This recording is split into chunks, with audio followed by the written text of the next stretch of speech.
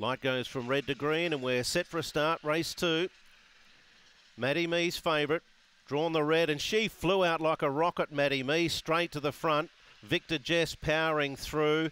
Bangor Lizzie's up to third, and then Lock and Load followed by Quickburn and Hurricane Storm. But the leader, Maddie Mee, is on the lure. She's six in front. Victor Jess giving chase, and so too is Bangor Lizzie, but it's Maddie Mee the favourite. Maddie Mee romps in by five lengths. Second, Victor Jess. Bangor Lizzie was third, then Lock and Load, followed by Quickburn and Hurricane Storm, and the time is 22 2.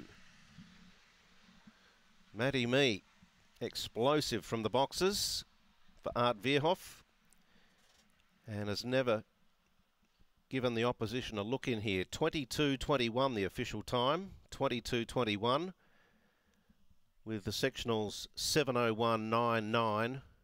The run home in 12.31, four and a quarter by a half a length. Four and a quarter by half a length of the margins. On race two, one, two, four, five, one, two,